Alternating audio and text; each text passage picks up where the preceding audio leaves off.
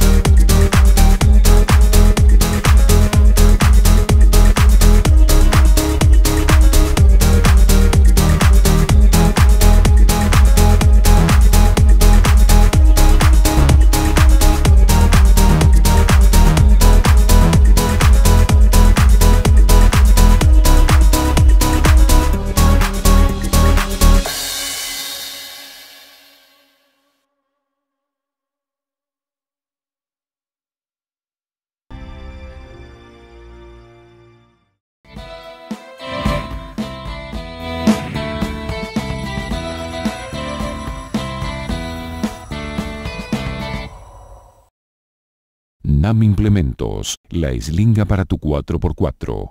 NAM Implementos, arroba yahoo.com.ar